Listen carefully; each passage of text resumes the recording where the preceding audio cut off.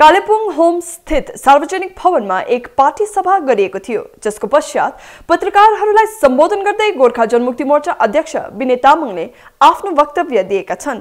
यसमा तपाईँको स्ट्यान्ड के हुन्छ? हेर्नुहोस् यो चाहिँ अपोजिसन पार्टीले जो म हामीलाई अपोजिसन देख्छ हामीले पनि उहाँलाई एउटा वि विपक्षीको उसमा दृष्टिकोणले हेर्ने गर्छौँ। सबैले त्यो धर्म निभाउँदैछ। हामी बाधा होइनौँ। जिटिए बाधा होइन। जिटिएको भोलि अहिले हामीले जिटिएको सीमाङ्कनको कुरा गर्छौँ तर भोलि युटी भयो भने हामीलाई सीमाङ्कन गर्ने जरुरतै छैन नि। अर्को एउटा व्यवस्था ल्याएर दिएको हुनु पऱ्यो जो चाहिँ पर्मानेन्ट एउटा राज्यदेखि बाहिरको यो हाम्रो के अरे पश्चिम बङ्गाल राज्यदेखि बाहिरको एउटा हेर्नुहोस् यसमा चाहिँ एउटा कुरो गर्नुहोस्। उन यहाँ सुन्नुहोस्। यो कुरोलाई तपाईँहरू पनि पत्रकार हो यसलाई पनि राम्ररी गर्नुहोस्। यहाँनिर शिक्षित समाज पनि छ इन्टेलेक्चुअल पनि छ सबै राजनीतिज्ञहरू पनि पढे लेखेका छन्।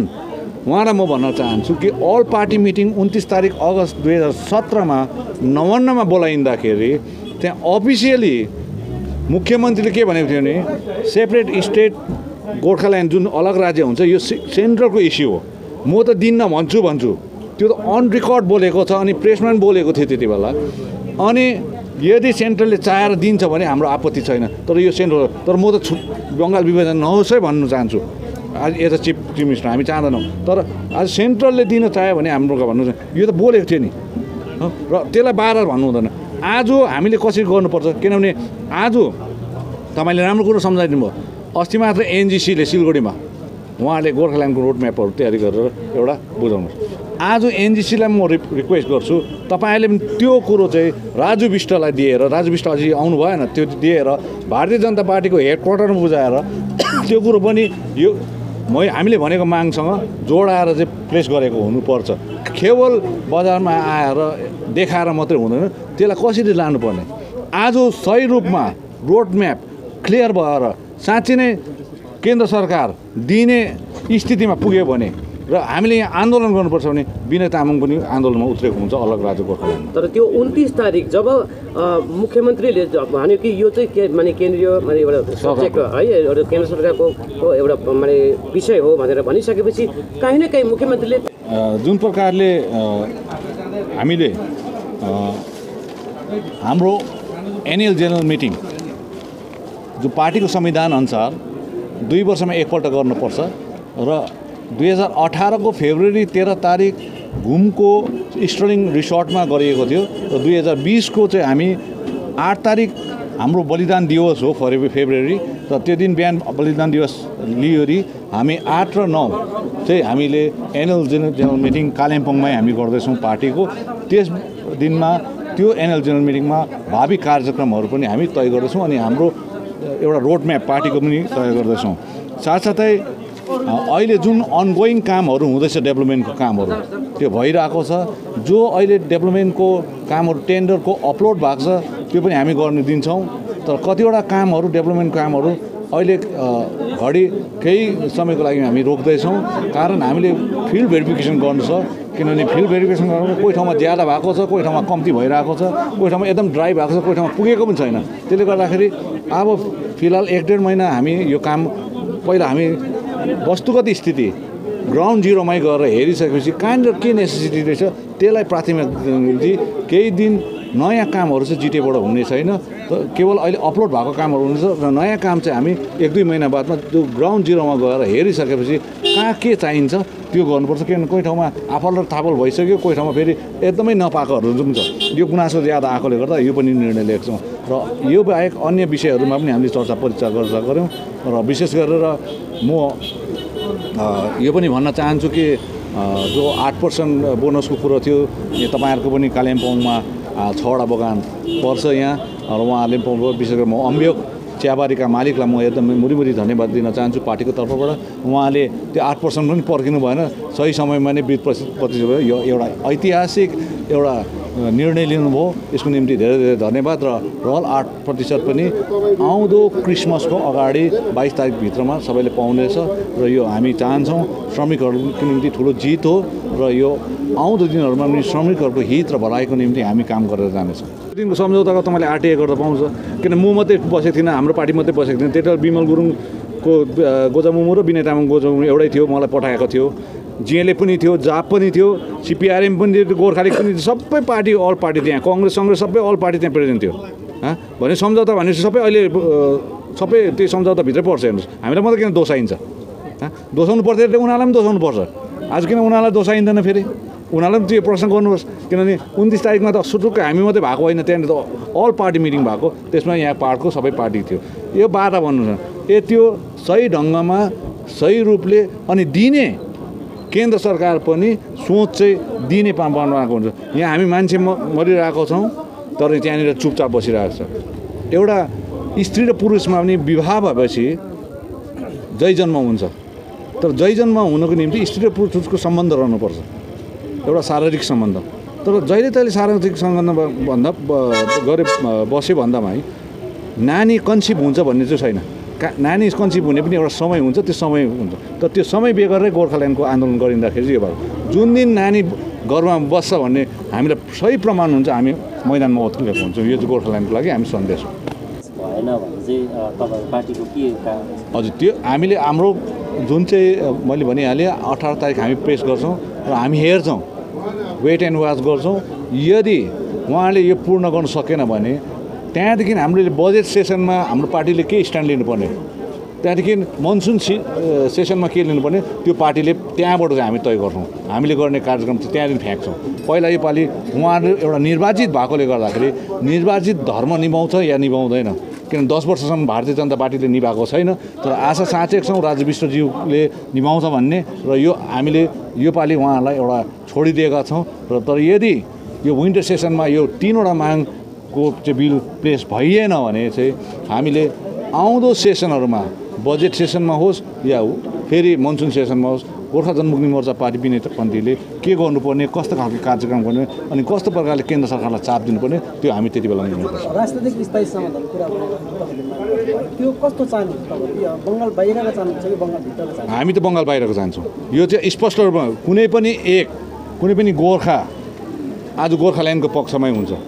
तर जुन दुई हजार सत्रमा गोर्खाल्यान्डको आन्दोलन गरियो त्यो दिशाहीन आन्दोलन भएकोले गर्दाखेरि हाम्रो मानिसहरूलाई मरिरहेकोले गर्दाखेरि कुनै यसको यथेष्ट एउटा निर्दिष्ट एउटा स्थानमा जानु नसकेको कारणले गर्दाखेरि त्यो भएको थियो।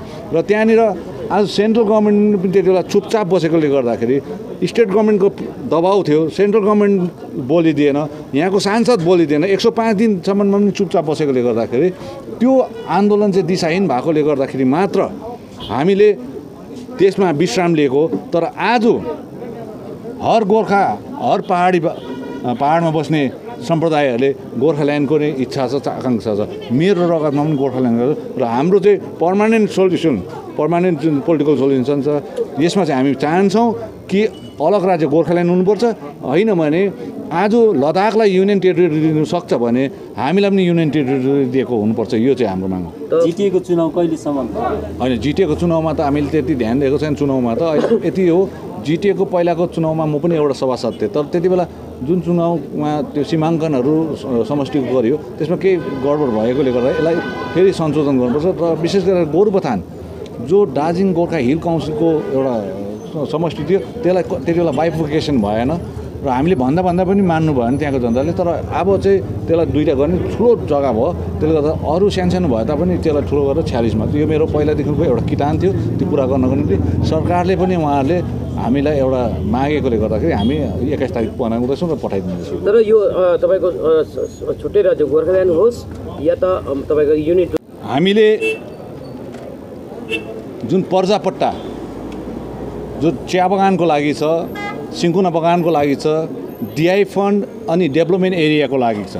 यसलाई विशेष मुद्दा ल्याएको छौँ अनि सरकारसँग यो बातचित भइरहेको छ र चाँडै नै एउटा सर्वे गर्ने सरकारले वचन दिएकोले गर्दाखेरि यो सर्वेमाथि पनि हामीले पार्टीगत हिसाबले काम गर्ने भएका छौँ र जो यो एक महिनाभित्रमा यो सम्पूर्ण दस्तावेज हामी सरकार कहाँ बुझाउँदैछौँ।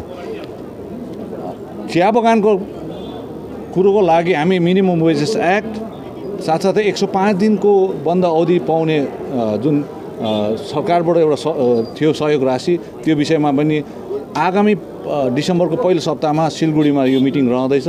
यो विषयमा पनि चर्चा गऱ्यौँ। अनि साथसाथै सिङ्कुना बगान जो कालिम्पोङमा पनि छ खरसाङमा पनि छ दार्जिलिङमा पनि छ यो सिङ्कुना बगानमा जुन प्रमोसनको केस छ छ सौ त्रिपन्नजनाको त्यो अन्तिम स्टेजमा पुगेकोले गर्दाखेरि हामी चाहन्छौँ यो चाँडोभन्दा चाँडो आउँदो यो महिनाभित्रमै हामी मुख्यमन्त्रीसँग बातचित गरेर यो कुरोहरूलाई पनि अगाडि लान्छौँ। साथसाथै पाँच हजार तिन सौ पचासजनालाई जुन सिङ्कुनाको वेजेस रिभाइज दुई हजार एघारमा भयो त्यस पश्चात दुई हजार सत्रमा हुनुपर्ने थियो त्यो भएन र यो पनि रिभाइजको लागि हामी कुरा गर्दैछौँ।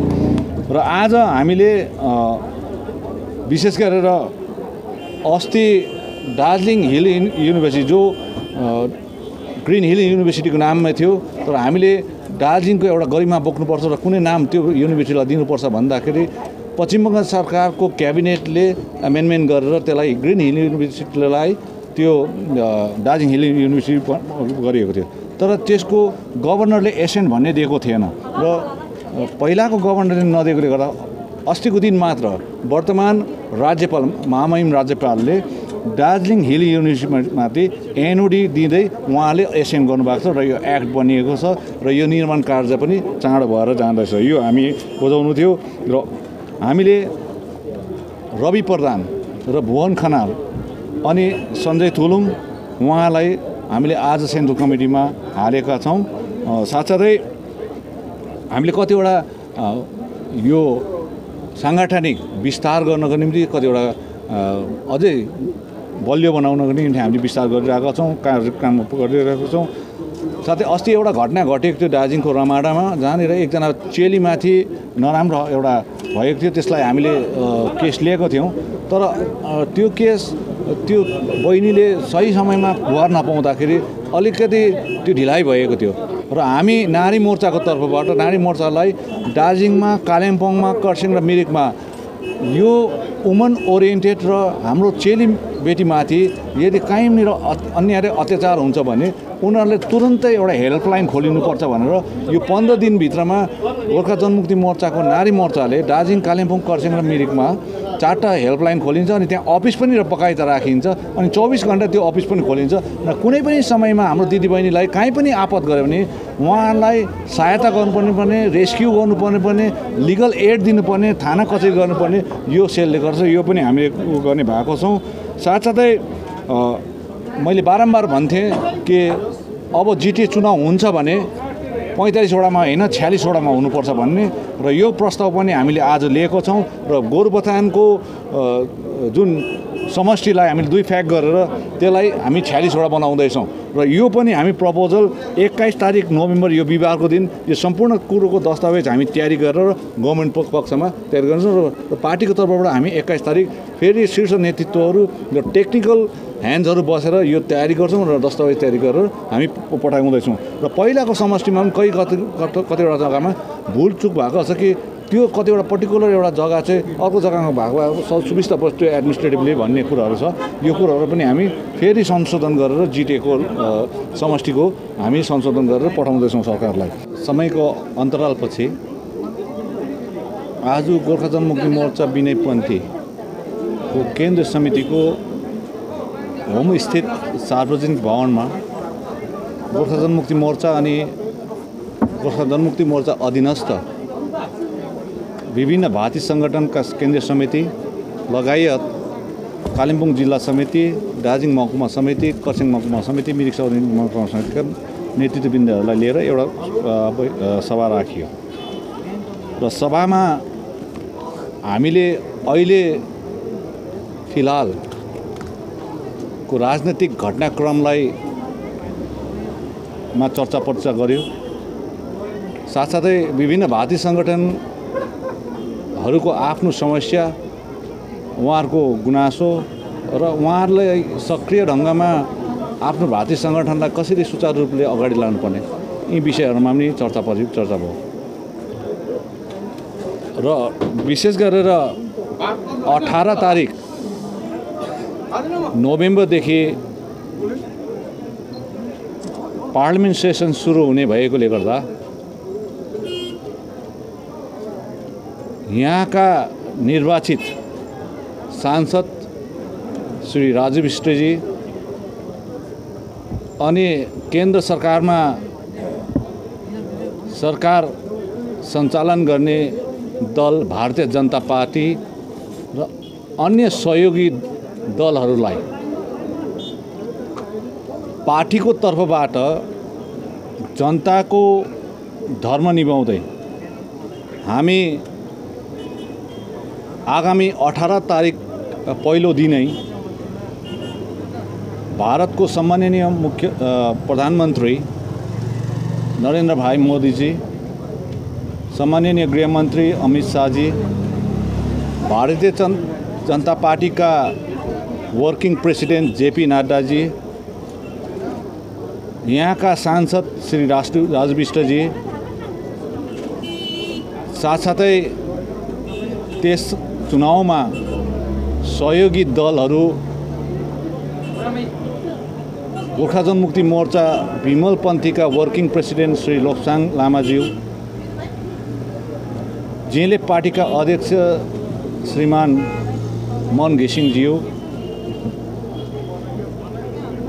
दुईजना निर्वाचित विधायक कालिम्पोङका श्रीमती सरिता राईज्यू अनि दार्जिलिङका श्री निरज जिम्बा उहाँहरूलाई अठार तारिक हामी पत्रचार गर्दैछौँ।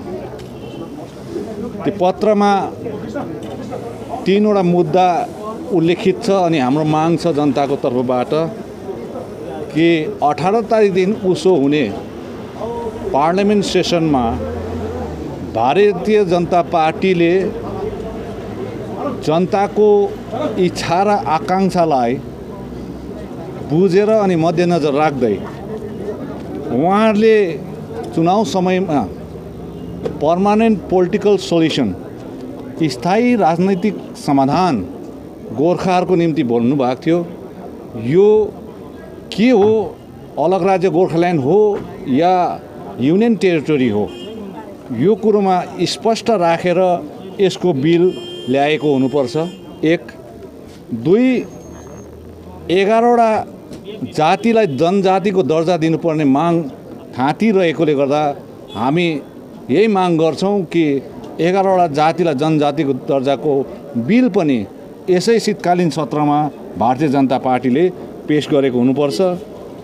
अनि अर्को कुरो भारतीय जनता पार्टी सरकारले अठोट लिएको मुताबिक सर्वभारतीय स्तरमा आसाममा झैँ अन्य राज्यहरूमा पनि एनआरसी लागू गर्ने उहाँहरूको वचन दोहोऱ्याइरहनु भएको छ।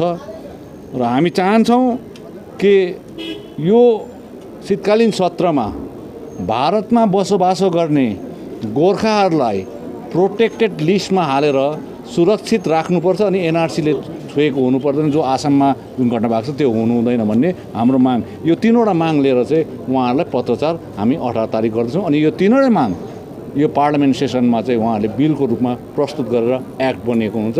यो चाहिँ जनताको तर्फबाट गोर्खा जनमुक्ति मोर्चा विनय पन्थीको माग रहेको छ।